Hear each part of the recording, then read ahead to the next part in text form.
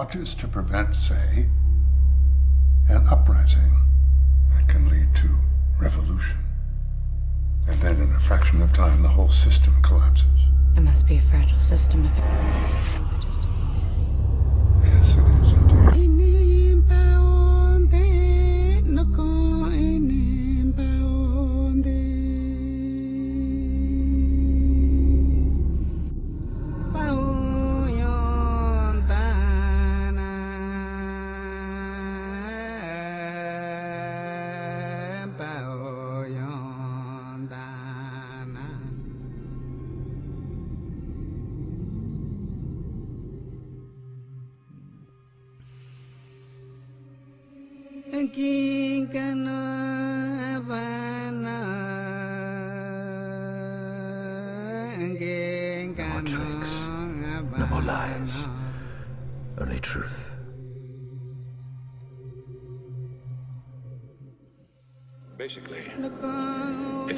efficiency filter and heat exchange system.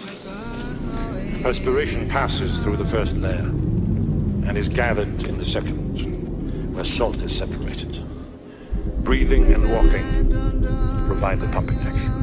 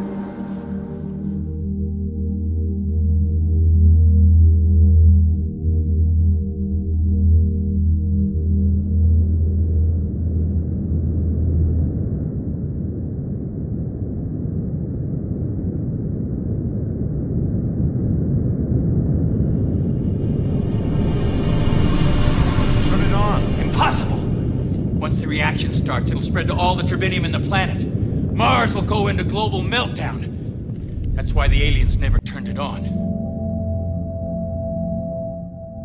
Today is going to be a different show in the sense of I'm going to be putting on some visuals that really are not directly related to what we're going to be talking about. And those visuals are just to allow you to relax more.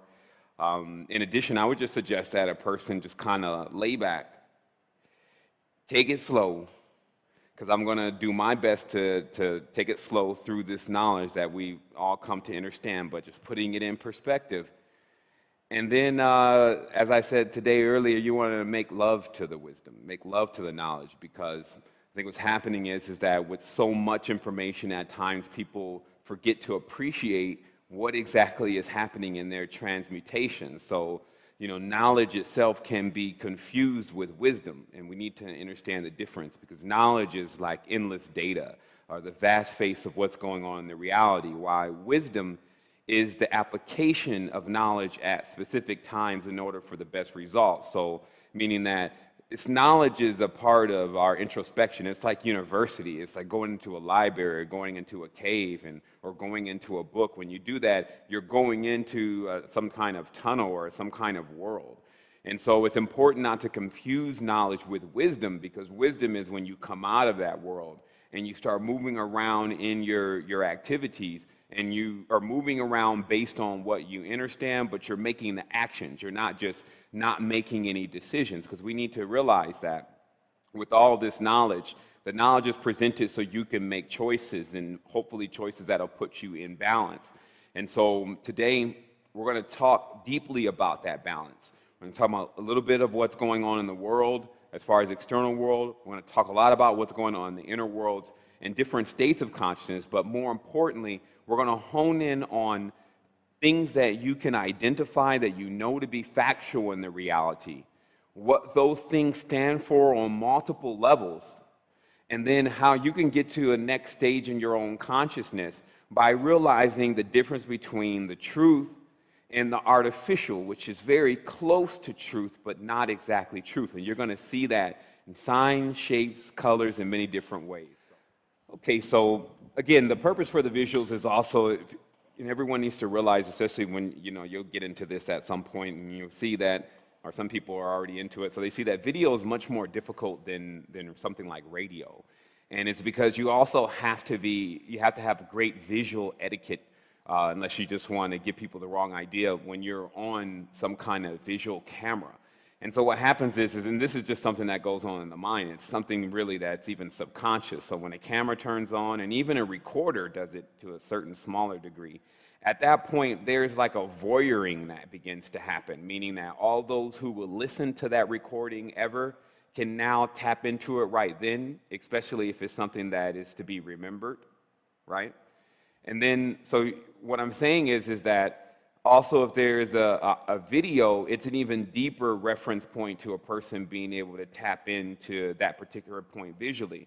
But what we want to concentrate on is we want to concentrate on using different senses beyond the standard five senses. So attempting to not taste, see, hear, smell, touch it, but instead merging all of those and going into a stage of conscience of letting the information pass through you in balance with no judgments so that you can form a larger picture. And this is, would be using your visual cortex or using the, the area that lights up when you get into the third eye activation.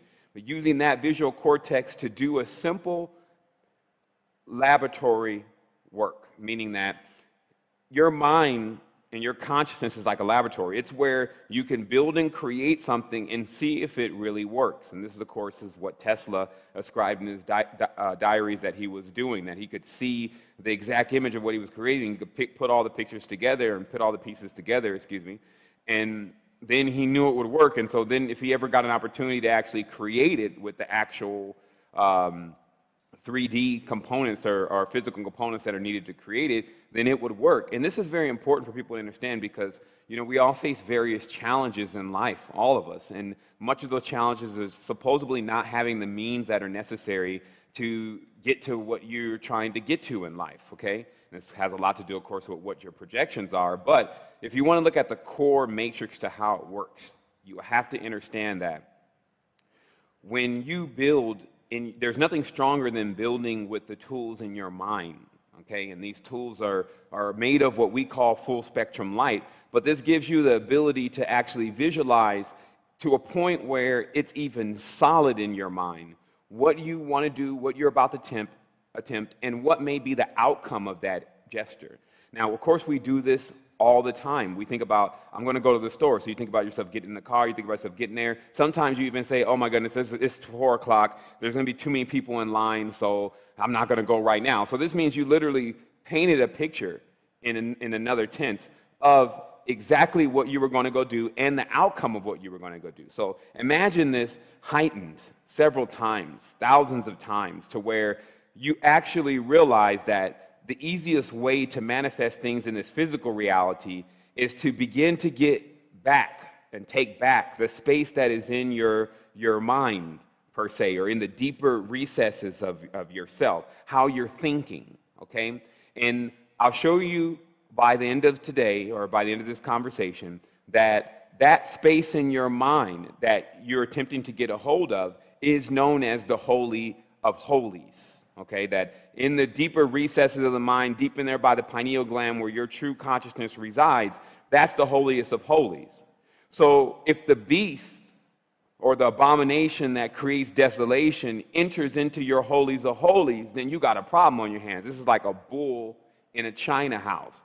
Okay, and what this is really, really about is this is about inside of your consciousness, and I'm just bring this in scope here you have something running around that if you've ever just sat down and tried to control it, you realize that it's very difficult to control, and this is your thoughts. And especially if, for those who have been in heightened uh, states of consciousness through hallucinogenic substances, which is a little bit of a, uh, cheating per se, because I mean you're only hurting yourself in a sense because you still need to train for being in that other realm. But let's just say you take the uh, the cheat sheet or the uh, the Game Shark, and then you punch in the code, and then you go into this other realm, and then you'll notice that your mind is going like a million miles an hour, and all of a sudden it's manifesting and creating all these different ropes you keep jumping on. And these ropes are based on fears, sometimes they're based on joys. It's based on every single turn of this, what I'm now seeing is a six sided cube or a facet of the kind of reality that you're actually living in. So, what this means is, is that you have a beast then in your mind just running all around and acting all crazy, and you cannot get this thing under control. So this means that this is the only thing that's really important. That if you can get this thing under control, then every single thing outside of you and around you will obey that because it will only be responding to the frequency that's coming from you.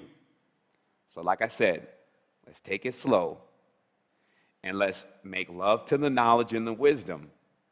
And let's understand what unconditional love really is, meaning through no judgments, actually perceiving what is around you. So, what I want to talk about first is the end of talking. This is also why I've decided to take a break for a while so that we can start season four the right way, because season four is going to be about introspection.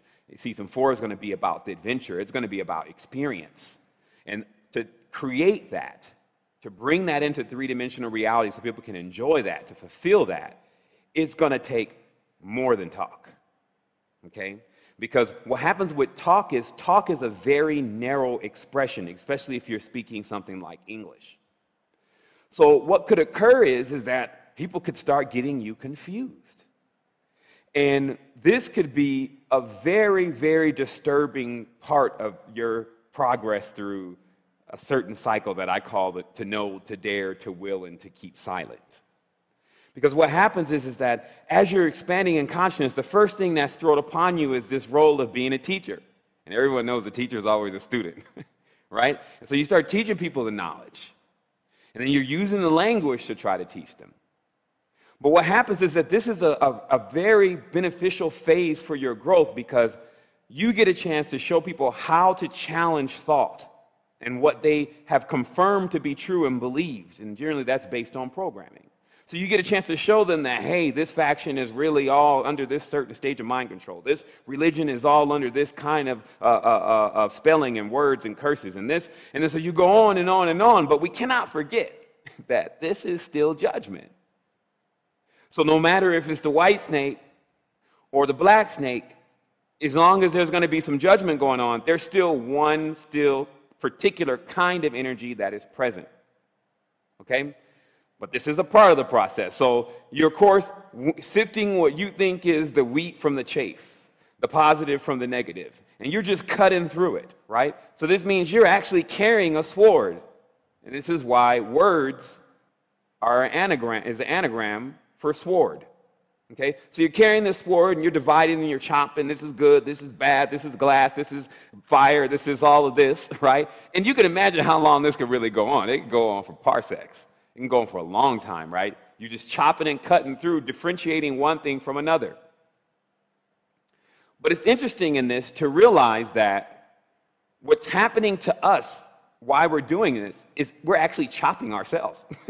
we're actually cutting ourselves. And this is because all is self. So a while ago, years ago, I came into the total realizations of this. But then I realized the most integral work that needed to be done is someone needed to act like they didn't even know and start it all over again and start taking people through the process of what they went through.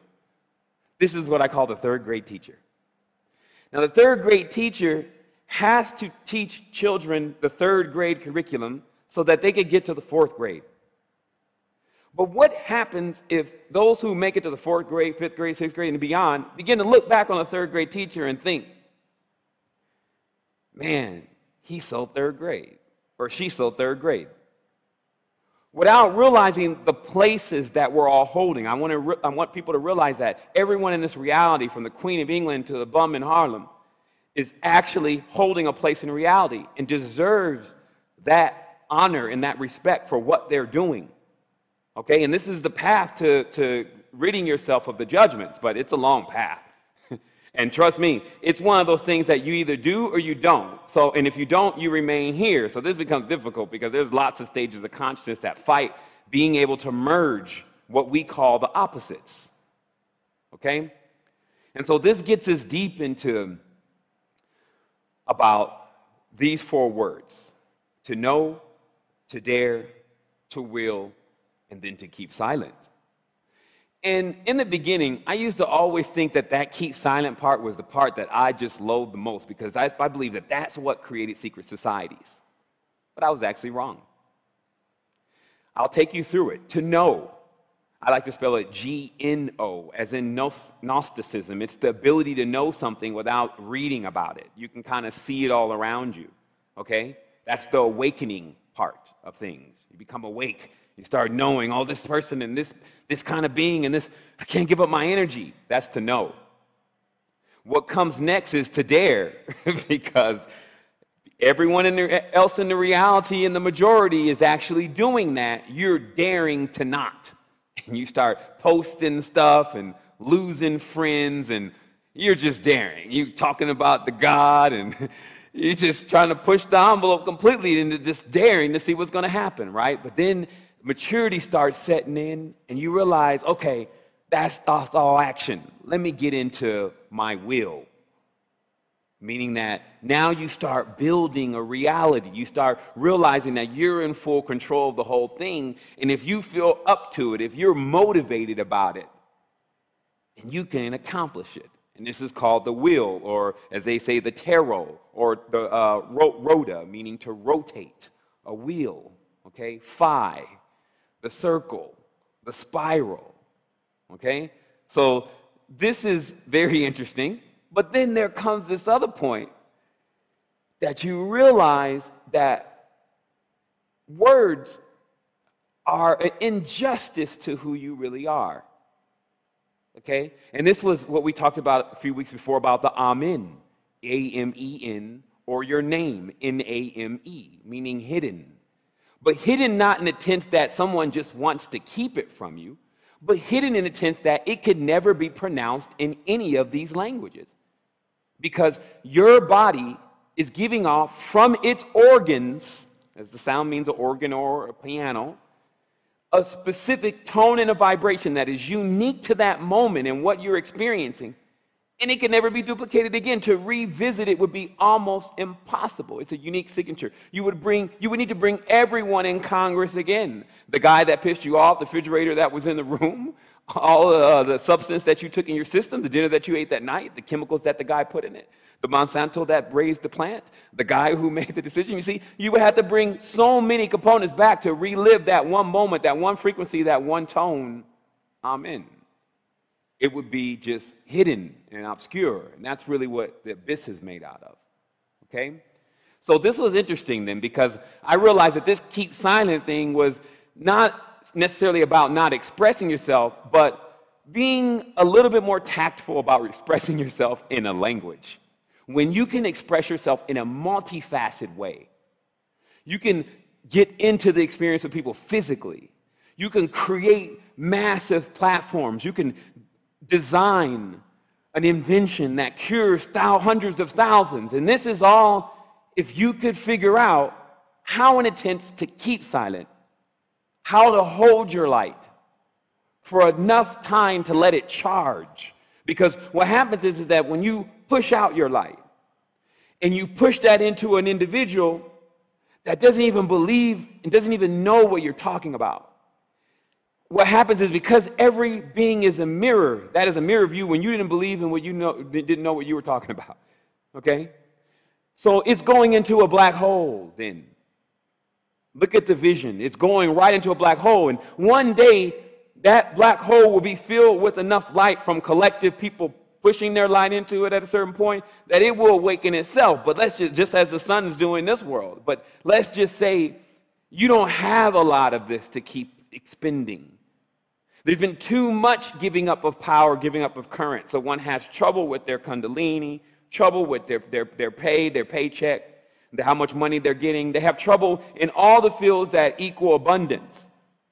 The only option for many of these individuals is to invert, which would give them the opposite side of everything. Okay, the shadow side of everything. I call it the monkey's paw. It's like you get a lot of money, but you can't spend it. Or you, you actually, uh, I, the story of the monkey paw, the lady wished for long hair, but by the end of the whole wish, she had, had to cut her hair to buy a, uh, well, actually, excuse me, she wished for a comb. And at the end of the wish, she had to cut her hair in order to be able to get the money to buy the comb. You see, it's a monkey's paw, meaning that those who invert themselves and think, well, I'm just gonna, I can go and get it that way, and I could do it like that, end up in a situation, billions of dollars, straight miserable. like it's every single moment ringing on all five phones that, oh my goodness, I need help, this, this, this, this, this. So realizing that the multifaceted expression of you is for you to begin to cultivate, for you to begin to curate yourself. Okay? This is the word, the key word that me and my good friend Jason were using was curate. Because that curation process is the cultivation process. That is your soil. But what happens is, that you can gather so much knowledge if you don't curate it, if you don't trim it and keep it to where you understand what's going on, it can run wild. It could be a beast. you see? So, step by step, we'll walk through this today about how to express yourself in the multifaceted you versus, James, one thumb. It's like your name means this small tone thump vibration, and you are identifying yourself with that name versus the symphony of who you really are. And then the icing on the cake is the language because it supports that. It allows you to be a cube, it allows you to be a square, it allows you to be in a box. And that's why I'm going to show you this language that this God brought down to confuse everyone. It was a box. And from that point, it put everyone in a box. So let me share some stuff here. Everyone that thought in that language, and this is the father and mother languages of English and the rest of the language. And I'm talking in this tense about Arabic, and I'm talking about English, and I'm talking about Hebrew. And I suspect, based on the accuracies of geometry, that all of the language consisted of the same thing, that they are just certain geometric shapes that when they get in your mind, they start to penetrate and bore and drill into your mind, trying to get into your holiest of holies and set itself up as God so that you can then fall down and worship it. And then the emblem will become true that man and woman will bow down to themselves and worship themselves. Worship, W O R, which is war. Okay, that's where we get the word work from. Work creates war, too. Everyone is socialism. Everyone's trying to take from someone to give to someone else, right? So, how to get out of the warship, this is when you turn your craft, this is your art, okay, into something that formulates you into being in duality or dualistic, thus allowing you to inherit the mark of the beast, which is two strand DNA.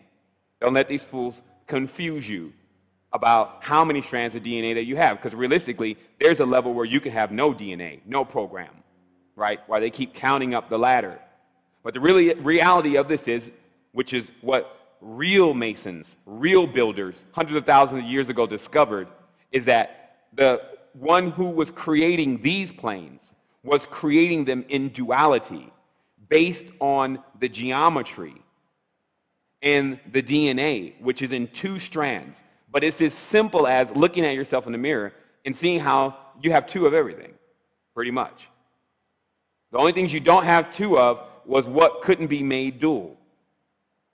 And this is a very key thing because this means that even if you're not trying to get in division, even if you just want to be like neutral in this, balance in this, you're not only in one of these bodies, you're also speaking this language. In all these languages, we're moving twos, fours, sixes, and this is what we were talking about before these so called even or good numbers versus odd or strange numbers. So, this also holds the riddle to everything that has taken place on the, on the planet, especially with the two most intelligent warring factions one strand DNA and three strand DNA. And I'm going to take all that apart in just a moment. But let me take it slow. Let me look at all of the dissertation that I have here.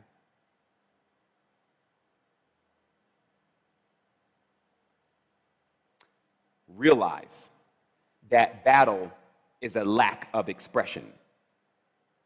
So that means that the sword, which is a key component in the battle, a sword can be anything, it can be a bomb, missile, whatever, but the actual tool of division, which is in this case the words, will be a lack of expression because this is what happened. If you get so crazy where you have to now stab somebody with a sword, things really got out of hand. You need to actually ask yourself if maybe it's you that's out of control, right? Because this is a bad lack of expression if you're supposed to be wise.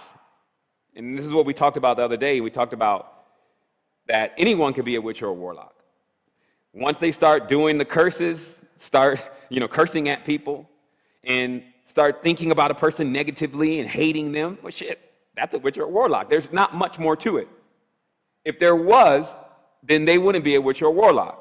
And so we're talking about these levels then. So when you get into this higher stage of your consciousness, really a more balanced stage, you start to see that this talking is a crazy lack of expression because not only are people misunderstanding me or misunderstanding me, but I'm also not expressing truly what I'm really wanting to express to them. And I'm only talking at this point for those who've reached that stage in their consciousness, because some people are, are, in their consciousness wanting to actually do something malevolent to other individuals. But I'm talking about the individuals who are actually trying to do something, but it just keeps coming out wrong. Every time they get, keep getting in this battle, it's with grandma now, and it's now it's with, with dad, and all you're trying to do is help them, right? And this is because these words are a, horrible lack of express. They're, they're, they're horrible lack of expression. When you, with your multi-symphony new state of consciousness, try to show them what you're uh, about by talking to them, now the trick has began. Because the cube, the Rubik's cube, if you may, now starts tumbling. Now everything is about to get mixed up, turned around, put in a corner, at an angle. All of this kind of stuff is about to happen when you talk even the most eloquent. Okay? And so this is just calling it like it is. And the reason for this, I have a reason for this too. Why is it like this? Well, not only is it because we probably are supposed to be using our frontal lobe and triangulating everything that we have that is that that's still in separation and then bringing it all to one focal point, but it's also because of what the tongue really is. and we talked about this I mean, I have to mention it again because everything is in perspective, but the tongue is the phallus of the face. Because as I mentioned, the holiest of holies is in the center of your head. So this lets you know that the real microcosmic body, the real orb, is your head. It's like the earth of you, it is the globe of you. Okay? That's why the skull becomes so important. Because inside of that template, there's a holies of holies in there. But if you see your whole skull then as just a complete body, then you would need to understand where your tongue is, right around the place where your phallus or your yoni would be. Okay? In fact, your mouth is a phallus and yoni, people.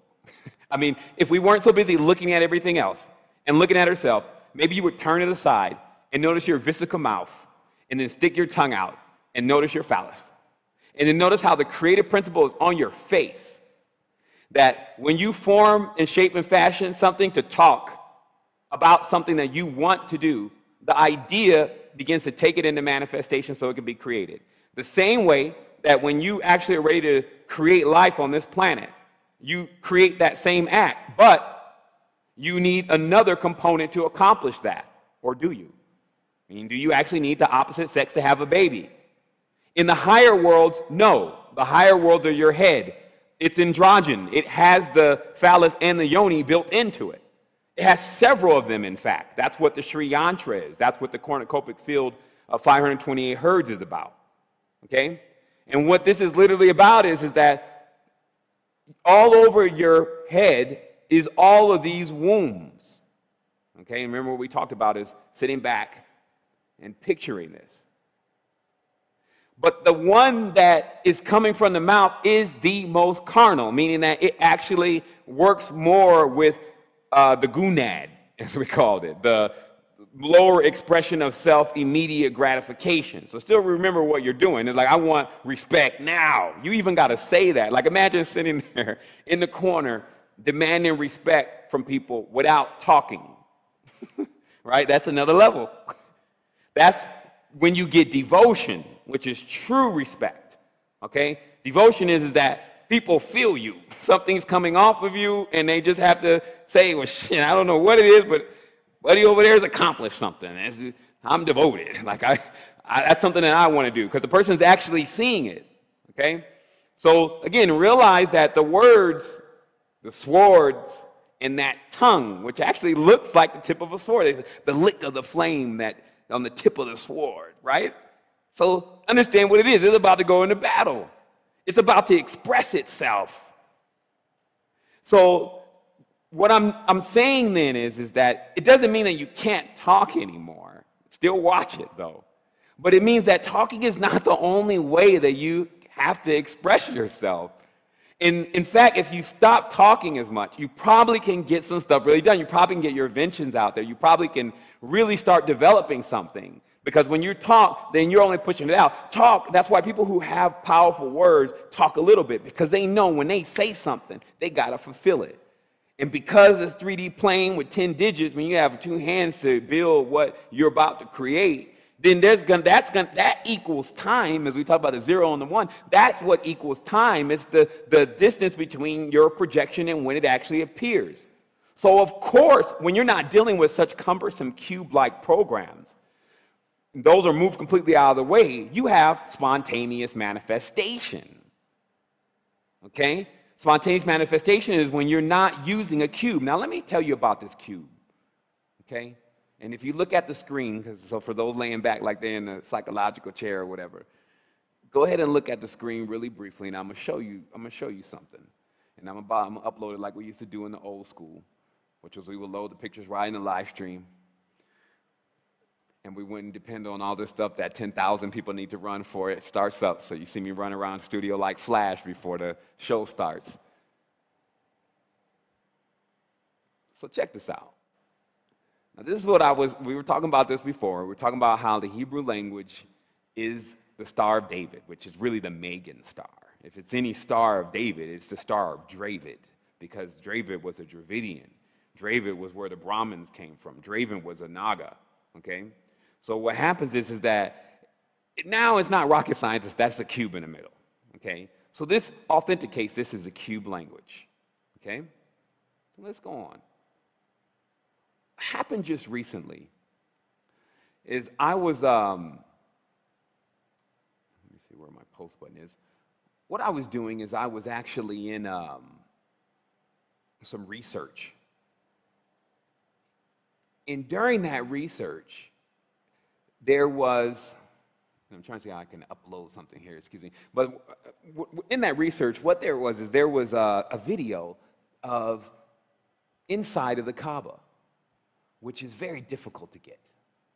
Because I still remember back when I was a Muslim, shoot, you couldn't even pull a picture out, let alone something about the Kaaba inside. And the world has gotten so wide open with revealing what it's doing. The Brotherhood of Saud, who are the Saudi Arabians, black oil, black snake, actually are balling out, wheeling out, and do a selfie inside of the Kaaba.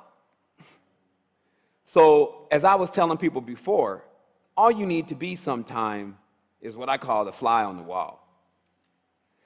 That's the actual person that is not necessarily looking at what is being done, but looking at what's on the wall. This proves because this is on inside of the Kaaba on the wall. Now, somebody saw that right off the bat. Nowadays, right? And to see this image, you need to just go to live stream and look. And if someone saw that on the wall now, they'd say, yo, and why do you got this big RFID tag on your wall? or uh, with a big RF tag on your wall? Like, is that go to your website or something? and the truth is, is that this is what Arabic is written like in the Kufic script, okay? Which you can look up yourself. And this is not new. This is something been going on in ancient times. Now remember, like this is inside the Kaaba, so they're not going to put anything that just come off this press made from China and then put it in there. They're going to use all, all of what's been there since the beginning, right? And what's in there is this, which actually says that there is no God but Allah. Allah's putting His mark on the whole thing inside the cube in the incubation and utilizing the hyperdimensional language, which is more like Adinkras it's more like, you know, to me, you see it as like an alien coding or something. But this is what I was saying in the Dimitri is that you see this language running through people. In, in Costa Rica, it just looks like it's Aztec. I have yet to get to other places with the third eye open and see what exactly uh, the geometry is running through, the, uh, or the language running through the people that live in that country. But I'd be willing to say that it would be based on the code that they're on. Okay? And that this code would then affect every way that they think, everything they do, almost like, well, not almost like, it's a program, damn it. I'm so tired of people just not saying what the hell is going on and beating around the bush and putting gloves on and putting toilet tissue on their fingers and just trying to do anything but hurt somebody. But damn, let's get out of fear here. The program is running, okay? In this program, what I'm realizing, there's an artificial one right? There's an artificial one running, and then there's another one running very close to it that is based on the genuine model, meaning how things actually were in the beginning of the arrival of the beings that we're calling humans into this particular state of consciousness. It's kind of crazy for us to keep talking about all these worlds and all these different kind of things. Like, yeah, that's a given. Like, but where are we all stationed at? Okay? And I'm going to show you the geometry that is more associated, because I did have the, the image, but the image is either a concave or a convex triangle. But for me, for me to show it to you truly is, is more of its organic shape, which is as a yoni, you would see it here. And there's another picture about to be posted, and this is known as the stone. Okay, this is the stone that is on the outside of the cube. So this is, I mean, you could see that the biggest play is is cooties, meaning that if while we're young, we're in this whole Christian state of mind, and you're not even supposed to talk about sex, you're not talking about, so you're not supposed to talk about six then, which is a six sided cube. And what happens then is you talk about it later on, it's uncomfortable. If you say, oh my goodness, he's talking about it. it's X rated, oh my goodness, yet. But yet and still they turn, turn on the movie Shorty with the boobs out and ass twerking and all sorts of stuff, right? But then when it's time to talk about what is really happening on our planet with, the, with more of these archonic forms, meaning larger forms that are being birthed, that men who work the cabal are putting themselves inside of to control like vehicles okay? And but the same thing applies. It's the duplication of what you see in nature. A yoni must be present. And this is a yoni. This is a womb. This would be the vagina then. And then the box as they call it in even now in slang her box would be where it needs to be cultivated at right? So the story is here, and I've studied it for probably thousands of years, running this being down in particular, is that a star fell from the sky, but it was a meteor. And from the moment this thing landed, the first altar was set up because it was sentient. So it knew how to send this cube right into the mind of the first person, in this case it was Brahma or Abraham, who actually came in contact with it. And it shows you the nature right away because the first thing is asked is a sacrifice. Give me something. Now, have you ever had someone that you just met for the first time and they're already asking for something? Isn't that like a turnoff? So why is it not the same thing with these beings that if you're asking for something, give me your firstborn, give me your 10%, give me your best of the crop, give me this, give me, give me, give me. Man, this is a taker, right? So we hunt takers all around the galaxy like because they come into worlds, they attempt to emulate and become the surrogates of the planet. They build a box that supposedly is a, a, cognate of the real womb of the planet. And then they start taking everything from nature and then introducing it to everyone like they created it. Hello, medicine, Merck, Pfizer, all the rest of these poor alchemists. Trying to turn a little dirt into gold, meaning trying to turn earth into anything, always in that kind of pursuit of transmutation externally, but yet missing the real alchemical procedure, procedure that goes on with inside one's consciousness. So, to really understand why this resonates with people so much, like why they can't let it go so much, it's because it's themselves, but it's been externalized. It's been put right in front of them and been given a graven image, meaning a graven image, not a really good uh, uh, description of who we are, but close enough that if you can fool people to believe that it's not them, which is the whole trick to religions, God is not you. It's some other being that you have yet to achieve and yet to get to, okay? That's not the truth. The truth is we are supreme beings. Actually, excuse me, that is the truth because God is still the Germanic God Good. It is still a word play. Like when they say we God controls everything, then if God is the king of Britain and everything only consists of money, then you see how that could be true. So that's called a forked tongue. Okay? It's like a truth and a lie. It's the truth if you believe it. So this is what creating temples were about, or templates. Okay? Now, notice here, and I'm so I, so people, so the Muslims or uh, ex-Muslims or whatever is going on, because I know there's a constant war going on in people's mind when they listen. They don't think I'm just picking on Muslims. Here we go with the Temple of Solomon, the height of everything that goes on in the whole Christian Orthodox sphere. Okay, Gnosticism is not included. So what happens here is is that you notice that the holies of holies, and I'll source one more picture here and there's not much pictures here today, by the way, the holies of holies is a cube. So what I'm saying is, is that the way they draw out the template of the new state of consciousness, i.e., the new Jerusalem, that they want to put into or embed in the DNA of our consciousness is to make the mind a square. And this is why there's that old UN picture with the square heads. that every the humans are depicted as having square heads. Let me see if I can find that square head UN photo, right? Because I'm sure somebody on above top secret then then got it out there. But you know what I mean. There was a picture, and it was, I believe, the Tower of Babel in the in the uh, in the background. Let me see, Tower of Babel, and then that was Britain, I believe. And then the people that were below it were depicted with having square heads. And nobody, because the whole image was cryptic, so they figured that there's got to be something about why the heads are square. And here it is right here. It comes up. And just so you understand, it's replete with all the symbolism. Like, they're not hiding, really. They just are counting on everyone being ignorant and not knowing what the symbols mean. Symbols speak volumes. To the uninitiated, they confuse. To the initiated, they lead one down the trail of understanding how to make it back to where? Where the throne is, where the Tron is. Okay, we're not going to get off topic here. That'll be later. But meaning that all these roads lead to Rome. There's a central source to this kind of data information. It's very easy to track. Okay, so you see that the holiest of holies is depicted as a square because that is the block shape of the mind. And let me get the other picture here. Once accepting this square language.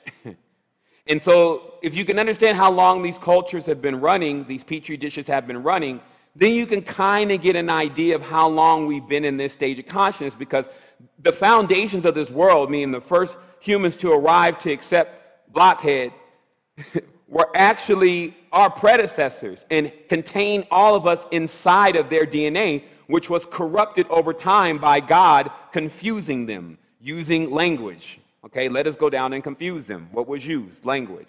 What was, we, what, were everyone do, what was everyone doing before? Working in unison. What were they building? A tower. What was that tower? That tower was yourself. People were only building themselves, all is self. They were knowing that if they keep building and repleting and, and, and, and, and, actually um, uh, creating that perfection within themselves, then they were also reflecting that in the reality. And this is how you got what you're calling nature. That's why I was telling you the other week that all the great beings left trees, left flowers, left insects, left certain signatures of themselves so that their greatness always could be encased in that, no matter how, many, how much division took place on earth. It would be a little bitty uh, uh, uh, beetle at this point, or a little bitty, you know, there's tons of these the, different kinds of uh, insects that are around that contain spectacular sets of, of different stages of consciousness, but not in amplification. Everything that's here in the planet has been divided in cut, shape, form, and fashion by one who wants to make us blockheads. And there's a Masonic template that shows the man uh, that they want to craft with a block or a square as a head. Okay? And then the reason why I have to be repetitious here is because some people think it's a game. And what happens here is that you can get played in this game. And if you don't realize that, again, you need to get outside of the box, get outside of the body, meaning that the box becomes a template that be, starts to form itself around your consciousness. People need to understand this is a progress, this so called great work which meant something totally different back in the days than it means now. So let me get back on track or forward on it and talk about why, when you're teaching awakening from that third grade level, while still teaching also about even beyond grades, you start becoming a hypocrite. You become Harpocrates and the reason is, is remember, the third grade teacher is responsible for telling you that the gods are malevolent, while the one who is not in grades at all doesn't even consider good and evil, malevolence or benevolence. It's beyond that. It's actually not allowing those thoughts into your mind so you can be free flowing, so that you can actually begin to harness the light within. So, do you see how the third grade teacher is also the Messiah, is also the Bodhisattva? is also the bridge, but is also burdened or sacrificing at times. Many times, because you know, a bridge, everyone's walking across you. It's like, uh, third grade teacher, ah, stay back in third grade. I'm, I told you, it's better grades than this. You're still in duality. I don't even know why you're still teaching that, blah, blah, blah. And it's like, they didn't come through your class. But what I'm also still challenging the third grade teachers is to get multifaceted, because yeah, it does become a byproduct of what you're doing. And one thing, another, you learn from the students. Like, yeah, let's go into a multifaceted where you're learning all grades and then no grade at the same time. It can be done. But still realize what we're talking about, though, is that so if someone asks me, what do you think about the UN? I may be in clear face mode and be forced to go into vast face simply because of being in this particular position as a teacher, to school this individual for once and for all to not give up their power to anything and to not affiliate with those who are not transparent, which is a basic principle in that if you cannot gain that principle, you will be abused throughout all of your existences until you do. Meaning that if you don't want to be dolphin faced, this means actually responsible for every breath that you take, then you're going to need surrogate mama to actually help you out in this one rather than looking at real mother who's inside of you, which is mappa. The, what's really taking care of you is the decision for you to take care of yourself. That must come first because all the tools can be available. People need to realize what's happening. Nature does have all these cures, but it's still up to us to decide if we want to put them in our body and utilize them and understand about them. So it's not really nature who's in control then, it's us. So, and that comes from whether you're going to have the cure or whether you're going to have the sickness. You're going to decide. So, let's keep going. So, what happens is we figured out then that the tongue projects a lot of things that it basically expects the rest of the body to carry out. If it's in a physical level, now at the stage of where our consciousness is. But before, what we were doing is we were projecting it so solid in our minds. You could see it just as clear as you're looking at the visuals today, the laptop that you're looking on. You could see it just like that, that it would poof, tesseract itself right into the reality. Boom spontaneous manifestation. So, this is why it was very important for all the ancestors to create in these kind of symmetrical designs because that's how they were capable of bringing out beings that had some level of being able to achieve balance. Okay? Meaning that in the dualistic form, there is a chance that you will merge them together and achieve balance. But the symmetry of the dualism is the incubation stage. It is the incubation stage of you to become what's next. Okay? And so this why this is why I had to slow down the conversation a lot today because this path is so narrow. It really is. It's like if you step to the left just a little bit in your understanding about what's being said, you will come off balance. Because what's you have to really make it introspective to yourself. You can't at any point go outside and try to find an example of this within someone else that you want to blame. That's just going to throw things off balance in the judgment of duality. So,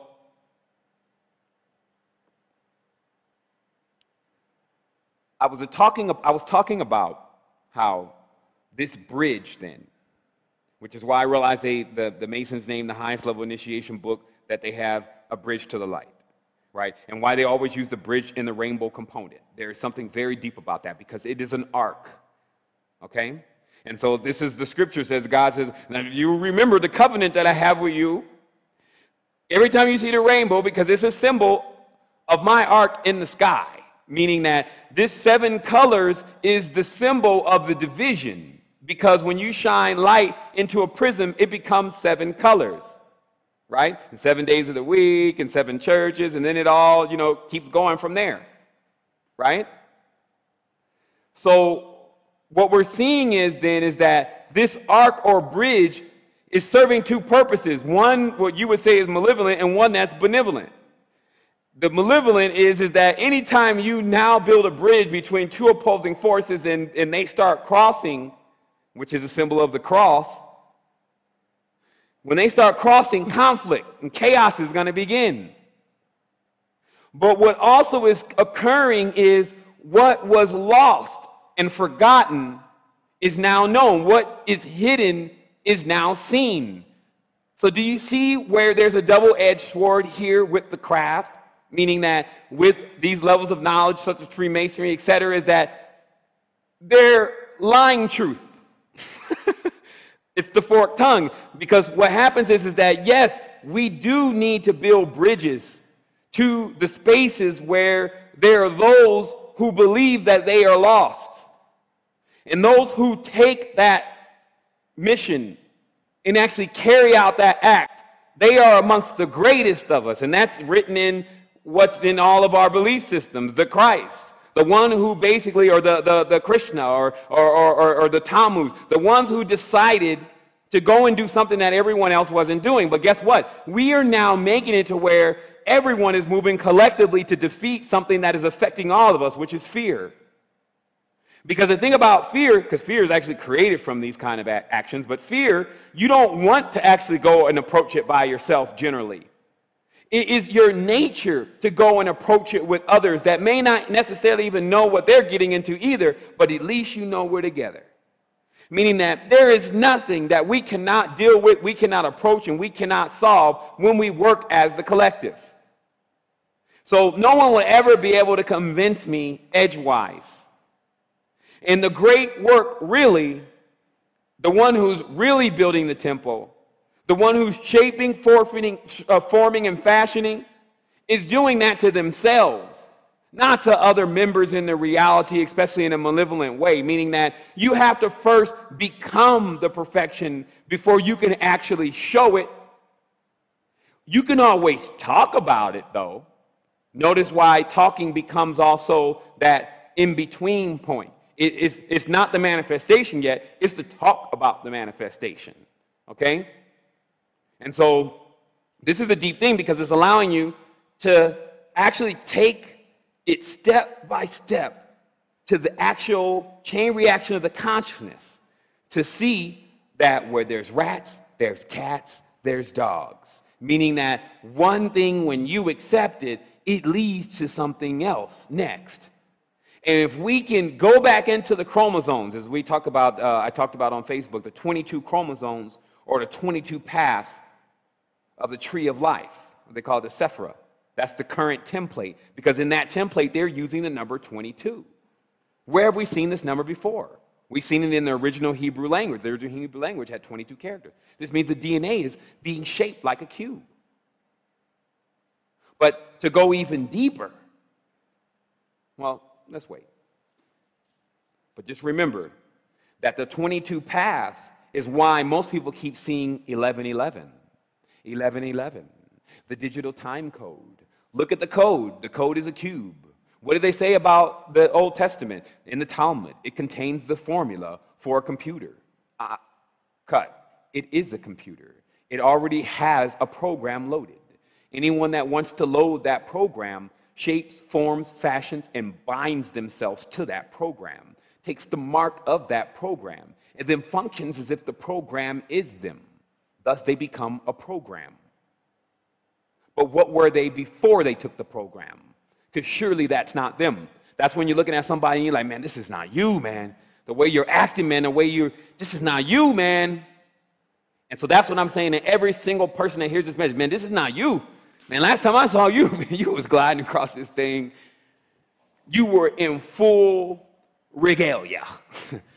Chakras blown open. There was no hindrance. You were in full expression and in balance. You knew what you were doing. Okay? So let's go further here. Now, the current program you're on, you can call five and six, which is pentagram, hexagram. Okay? And this is heaven and earth right? So the current program that's running is attempting to merge heaven with earth. This is the actual realization that there are ethereal beings, right? That's all of what this new craft is about. Like people are reading these books and tapping into these angels and drawing these stars on the ground. And remember, these ages last what you would see as an age of the zodiac.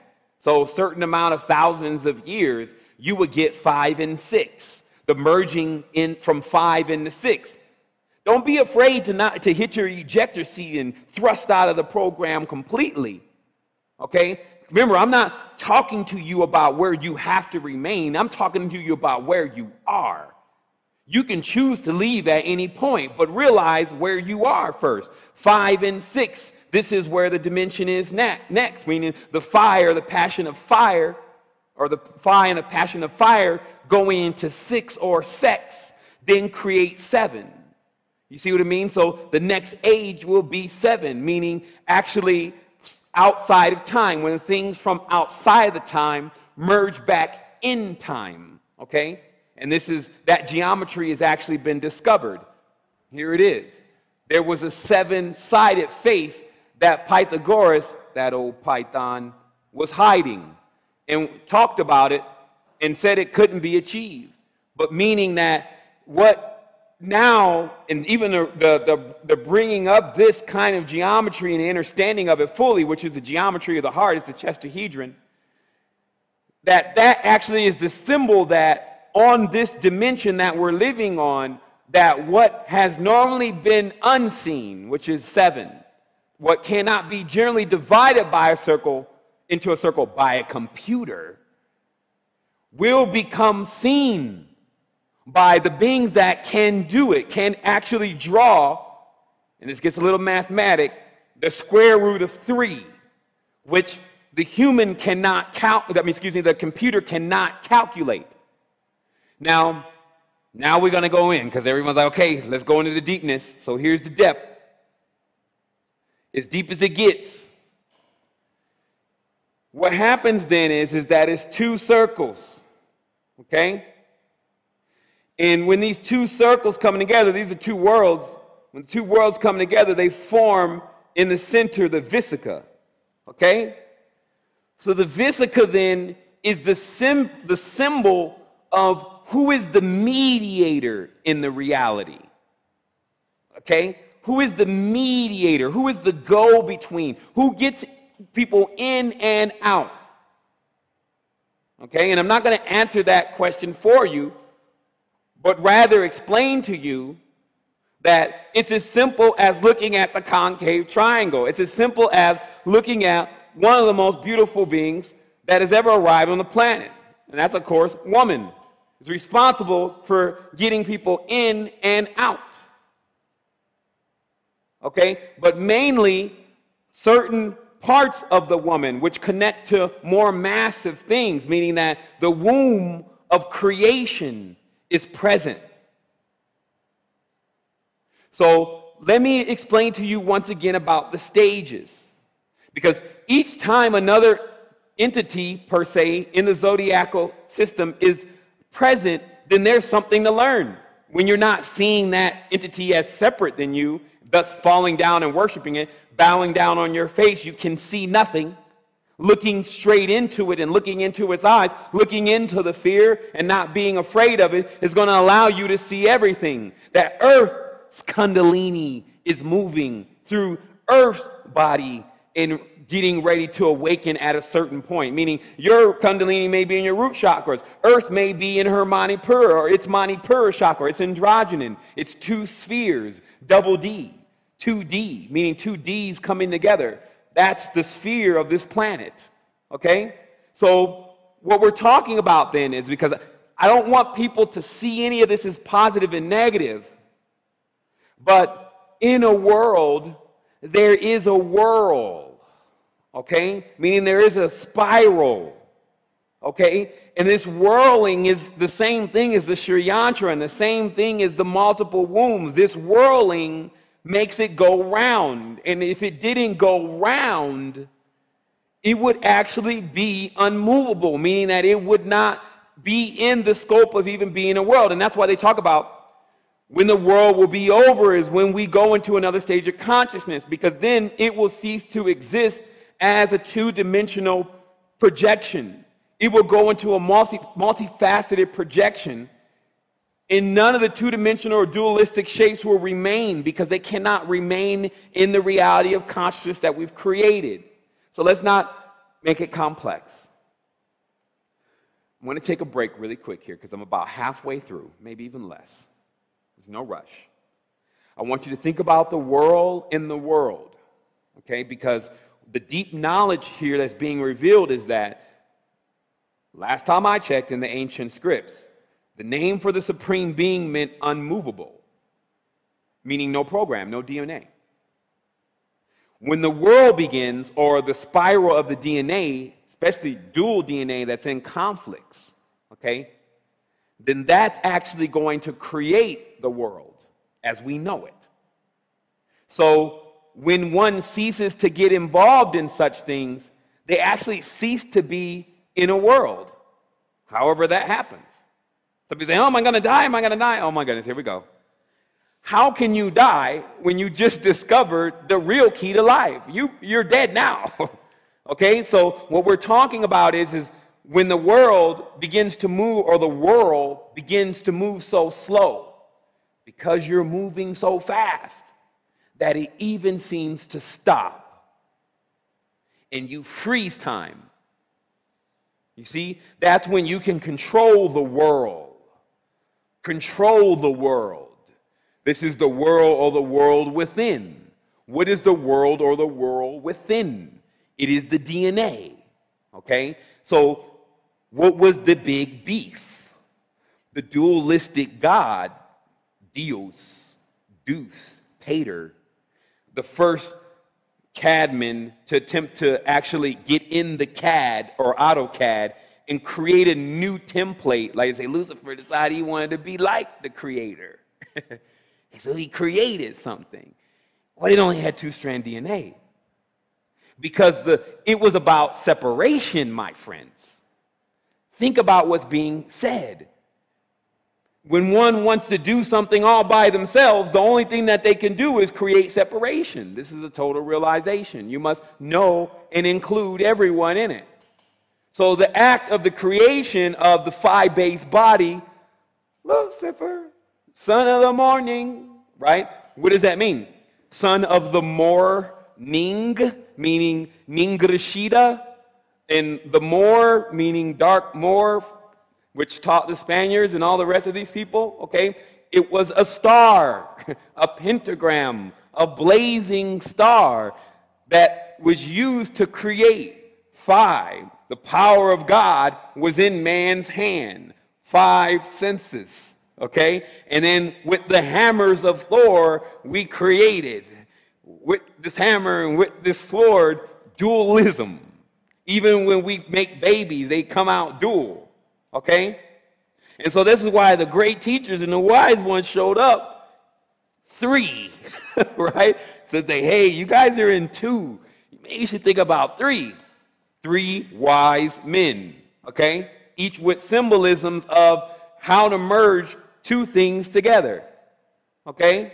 And this is what started the age of what I call triquetra, which is basically three strand DNA, what you're seeing on the soccer ball right now. Because the mediators, which are the reptiles, the ones with the vesica eyes, the ones who play the judge, they're still the Jews, they're still in jury. You see what I mean? What happens is, is that they create games like soccer in order to allow people like Costa Rica's crunk right now because they're winning, but will they really go to the World Cup? Right? Will they really go to the chalice? right? And then all of the symbology that's being used, if you understand what's happening, it's your team versus the other team. Now, so it's somebody you like, somebody you don't like. Duality. 11 11. We even show the soccer field 11 players against 1 11 against 11. So they're taking the template, the blueprint of the body, and then putting it right in front of everyone, and then wondering why everyone's attracted to it because it's the program that they're on. They're looking into a mirror and they're seeing microcosmic versions of themselves running around all messy. You see? So what happens is, is that then you got your team, but when your team loses, you get sore for a minute. Sorcerer, it's still soccer.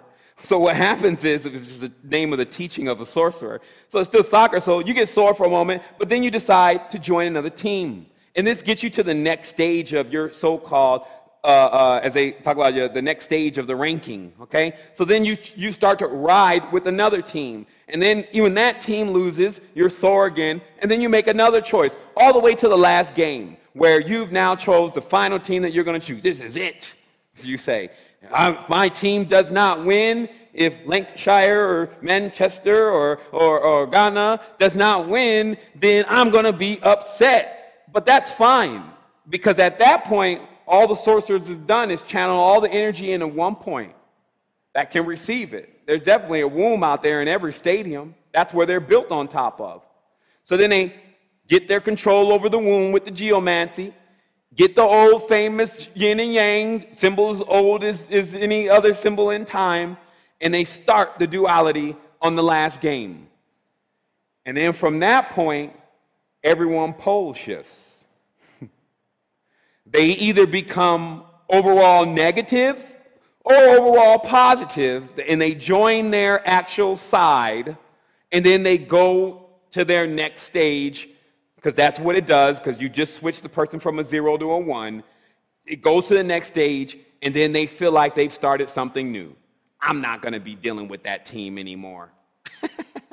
you see? So what happens is, is that it's a big thing when you have someone else and you're on a reality, and you got to understand my dilemma, when you're in a reality and you watch such child's play, literally, but then the damage and the results of why we're not teaching ourselves now and how many quantons, I want to come up with another, another name, that you can get behind when someone else does know what is going on but you don't, and they won't teach it to you. Meaning that when you look in a standard laboratory of today, what you'll see is, is you'll see equipment that is off the chain, right? And if you've ever done a little bit of work yourself, you'll know that you didn't need much to really get accomplished what you were trying to do. You just needed a couple mixers, a laser, and then a few other things, right? And then you start, if you if you not focus on yourself for a moment and just start thinking, but what do they have? in those kinds of institutions, they're not seen in secret societies, but they have every single thing a secret society, real, a real secret society has. A ranking system, a chain of command, things that can't be told to one individual, and I'm changing this now so you will have visuals. things that can't be told to one individual but can be told to another, told to another individual. It's top secret, it's classified. This is for your eyes only. That kind of behavior, right? So, but what happens is it has to be in plain sight. So when you see then people in the dimension, and I just posted another uh, picture, you start figuring this all out. You figure out what the cabal is. You figure out the cabal is a cable. But this cable or cable tow is shaped like a cube. And that the cube is a symbol of mind control because mind control is in a hexagon. That's why communication is in a hexagon. A hive is in a hexagon. So instead of the hive, organic hive mind of nature, meaning that there's a hive that nature exists on, that when you jump into that, you have connection to all the beings that live in nature. You communicate with everything. You communicate with, man, you can imagine how long some of this stuff has really been here, these metals, these elements. So that's the real hive. But then there's an artificial hive, is what I'm trying to tell you that this language is and these cubes are. They're artificial hives. So they turn, they tune you into a hive. Let's say you're American and you're riding on that cube and you think that that's the only cube. So you look at other people and you think that you're the, you're the best and you're better than them. And this is that stage of mind. And then the other cultures, they do the same thing. But meanwhile, why can't they peep game? Pentagrams on the Chinese flag, pentagrams on the American flag, pentagrams on the Israeli flag. Um, excuse me, there's a hexagram there. And then there's a pentagram on the, uh, on the, um, the Arab flag. So what is it? It's the grand game. So the, the controller per se is saying, well, we're going to make them pentagrams and we're going to make them hexagrams. And then we're going to just have them keep colliding and going to war with each other. And this is the great work. We're going to accomplish this through this chaos on order because that's going to bring the next age. And we're going to call that the New World Order. And we're never going to reinvent it because it works. After all, why reinvent the wheel since our good old father uh, Brand the Blessed, or, or whatever name they're going to give him, uh, Brutus, actually gave us as a Germanic god of golf who's a Nord and knows the Norse tradition. And this, they don't even know what the hell's going on anymore. These people, they're talking from the cube in their mind, right? They don't know who these beings really are. You interface with no being. You can't interface with no beings from this description with no cube riding in your mind. What you interface with is the infiltration. You interface with the grand form, great shape, and then start talking about something external after that, you would have to come with inner standing after that because you would have realized all that is within you unless what you saw scared you because that's what some people they get scared when the deity run up on them and if they can't recognize that that's actually them then they alter their state of consciousness and that's why there's always an altar in every template in every temple there is an altar and they get down in the altar and then they forget everything that happened before and then they wash it all away and then they come out as supposed to be this new being, but you ain't no new being. Meaning that this is nothing new in the cube. Like it's never going to be. That's why they use it because it always produces the same numbers that they're going to be able to calculate. You have to move in rare form. I say I'm mysterious. He moves in rare form. To do that, you only simply have to be you not the cube. See, because with the cube, if they know every way that it can be turned and everything that can be done with it, that's all this whole tetragrammic and all this whole uh, uh, Jehovian, all these uh, uh, uh these numbers that I call them Tron-based numbers that are also running computers too. The computers flopping, as they call it, a petaflop, flopping in the same increments that our brains are flopping on now. How? Because we've taken the code. So that's why we say we break the code, man. We break the matrix. Who are you talking to? We keep going because I was trying to explain to you again that the reptilians have taken themselves as the mediators because the schism that occurred in the real craft, meaning there was a mutiny on board, and some have dreamed about this when I airlocked every, all the bad ones on the other side of the ship. And this was because some went back to one strand DNA and this was an issue because one strand DNA, because if you can imagine, so what was presented then that Lucifer screwed up, created the two strand DNA, and the only thing that was left is to either figure out how to make no DNA, meaning take everyone back to a, a program where they had no program, extreme deprogramming. That's called like walking your way out of it rather than going through it, trying to reach nine and then jumping out the side, just backing out from one zero, right? Oh my goodness. Those who went from their two strand DNA, which were workers of the craft, back into their reptilian DNA immediately got locked onto a hive because that hive already existed. It was the sheath of the foundation for universes that existed before us, i.e., dinosaur. Okay, so what happened is, is that those individuals in that stage of consciousness didn't mesh well with the reality. It was, a, it was primitive compared to even a two strand DNA reality. So understand, Lucifer, light bearer, was trying to jump the entire thing off by becoming a catalyst of duality by separating itself from God. Meanwhile, it's all a big plan. You see what I mean? For three to come into play, meaning the triquetra, the Trinity, or when everyone triangulates themselves and then actually figures out where they are and that they're gods. That was Egypt. And then all of a sudden the door opens up. And then the door has this blazing fire right there. And the only people that can go through it are the ones with no fear. That's the Sphinx.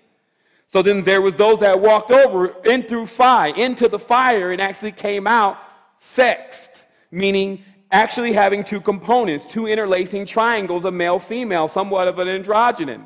Okay? And then from that point, realizing that they had a womb that can incept in concept, meaning a male or a female, that then they realized that they could begin to discover the spaces that were outside of time because this was allowing endless replication. Sex does. Be fruitful, multiply was the first command. So it keeps multiplying, multiplying. As long as we're multiplying, it's going to be difficult to be terminated. So at that point, by the time we would come to the end of time, we would have figured it out. So that's what this is all about, is that we figured it out. Now it's about getting other people in their own facet, in their own way of seeing things after all these cycles have run across, because people are on different stages now. You get worlds entwined within worlds, right? So think about this. Let's get back to our visual here before we take a break. I'm posting a picture here, and it should be very clear then that when someone steps up as mediator, it means that they take the role of the reptile. And this is because the reptile is more like a very stern creature that makes sure that three dimensional matrices are always available despite the heroes that come through that want to actually collapse them. Okay? So they become like the guardian angels of 3D based realities.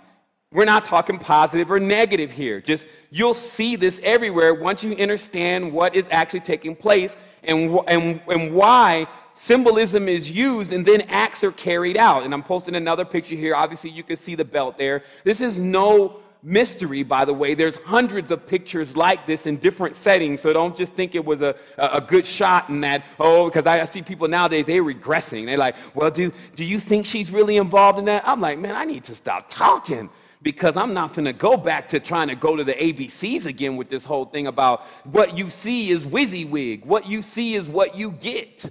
This is, this is Wicca in a sense. Look at it. it. What you see is what you get. They bend, meaning that they actually bow and bend themselves into uh, aspect in the reality in order to become the mediators. And because the mediators have certain benefits in the reality, everything has its pros and cons, but it's nothing new. These are ancient walls I'm showing you the pictures of right here.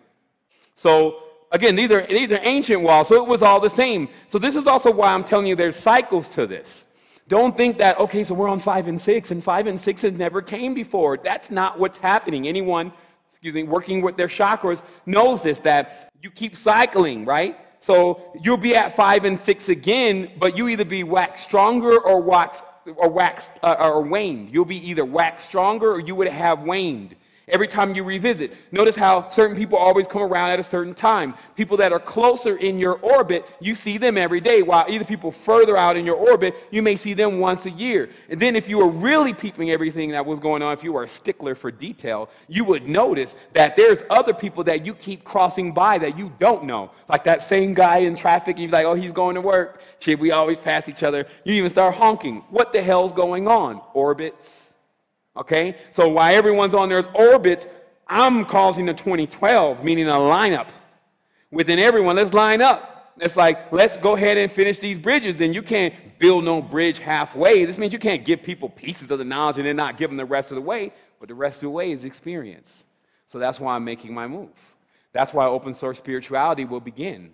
Because the real experience without interruption will come forth on the planet without delay. So let me again take a brief moment, get some water, get myself refreshed. I got about 30% of the conversation left. Still deciding if I'm going to take any questions, but I'm pretty sure I'm going to take those questions inside the chat box so that way people can, can communicate and, and at least ask their questions because I'm, I'm not saying also when people say that, uh, or people think that, oh, this is the last season, oh my goodness, no, he's going to go away. You know, there's no fear here, okay? And as I told you before, it's, it's, it's the man or the mission. In this case, it's the mission. I'm with the mission. So what we all have to see is that from here, the only thing is that it can only get better. That my interaction with this reality will be in the full form of who I am. Because what happens is, is that sometimes things need to cultivate. You know, if you, even I'm looking at my filing system, filing system's all messed up, and you know, I just moved into a new place, and there's a new baby here, and then there's people that have left, people that have came, and stuff's organized. That, that's not going to produce what I would want to produce as an expression of what we really have, have come across here and what we're really actually about. Because the transmutation and all the knowledge of how to complete it is right before us. We know how to do it. We ran through it in a very rough way, but now we need to get the proper people that are going to really support to take this to where it needs to go. And it's not a problem with asking for people to, to assist and to support you. When a person can go and assist and support, they build right now a $50 million building down there, right? So if everyone's assisting and supporting and building another cube. So when it's time to build a cube, then peep the game. When it's time to build another cube, everyone to another wall, right? You can always get people to sign up to build a wall. but when it comes time to tear down the wall, that's when you look around and you don't find too many people wanting to be there to actually pull that wall down, okay?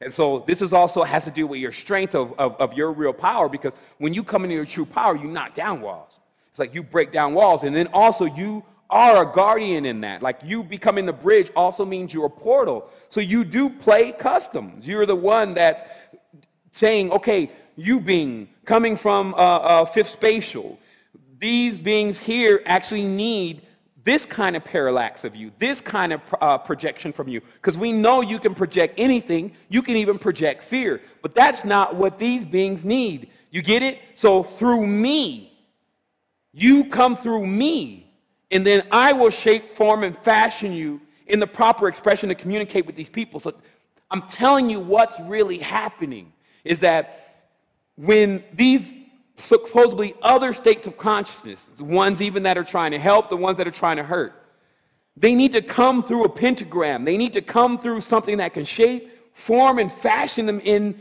into the right geometry to be able to get into this reality, to be able to, uh, to go into this net. Okay? Because certain geometries, the net resists them. They can't get in it, they can't get through the atmosphere. And this is why, even in our world, phi is based on the shell, because the shell are the atmospheres that we're creating. But this is why phi was given the symbol of the pentagram, uh, 72 degrees times 5 equaling 360 degrees, because that is the angle that the Jehovian sphere, 72, which is the Shem HaMephorash, 72 names of God, and even in collaboration with the Saturnalian sphere, is actually entering or impregnating the grid or this planet or the net or the lattice work, which is in the shape of a known yoni. Okay? So it becomes like I'm, li- I'm listening to it now because I'm also talking, I'm listening, but it makes perfect sense. And I even feel you today that it makes perfect sense to you that you see, well, look, this is the entire art of creation. It's actually in me. There's even examples of it in the world, sometimes many bad examples, but it is still based on real principles that do when you meditate on them they actually unlock anything that you may be focusing on right then. Any kind of questions that you may have, it's going to give you the true answers whether you want to take that or not. And so sometimes it be like bitter medication, meaning that it, the taste is bitter, but the benefit, it far outweighs that which is sweet. Meaning that if someone tells you, hey, Maybe you need to work a little bit more on your skills. Like you need to present that in a better way. You can't, you take that and you take that as a lesson and you look at yourself because it's only mirrors. And so, me, I'm going to do it every time because I signed up for this. Meaning, I signed up for the transmutation of the full expansion of my consciousness. Already took the DNA to a whole nother level. I see the grid. Like when I'm at night, when I open up my eyes and I can see different grids. And then it took me t- t- time to figure out what those grids really were in English, but if I had just sat down and really felt it, I would have really known what it already was. Those shells in which that I put around me, those things and those languages and those constructs and those blueprints and those templates in which I've accepted. I've done this. And in that, when you gain all of those shields and medals and medallions and all these different things and you start putting it all on you that's why all this stuff is shaped like geometry all the shields and you know pentagrams and all this stuff is geometry because you're just adding more clothes c-l-o-t-h-e-s c-l-o-s-e more clothes to yourself so that way you're closed up and you're in fear because all of what you're wearing is what's differentiating you from everything else. It's like look at this no one has one of these Hmm, that's supposed to be a benefit.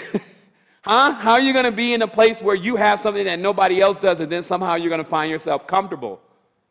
And even greater, how are you going to somehow escape becoming some kind of oligarch or baby Illuminati yourself? Because that's all that kind of activity breeds. So this is why we understand that and we want with the with the wholeness of our heart to begin to show people how to make this transformation, how to sign up for it without considering time. This means not saying I'm in a rush to do this, I'm too late, all these kind of different uh, accents of time that you may put on yourself, and then start performing that great work of merging these opposites that are going on inside of you that, have, uh, that are results of the temples or the templates that you've traveled through to begin to actually merge all those into the belief in one. This is true monotheism within inside of yourself thus collapsing that last stage, that pyramid, which is the symbol of the tetragrammaton, then collapsing that pyramid even further, which is the symbol of the, uh, of the ineffable name, and then collapsing that symbol even further, which is actually the symbol of the Trinity, and then collapsing that symbol even further, which is the symbol of the God, which is dualistic, and then collapsing that symbol even further, which is the point of origin before the bang, and then collapsing that symbol even further to realize that the point before the bang, meaning before division, when you had all your power, when it was limitless, when we were all together, when we were all family.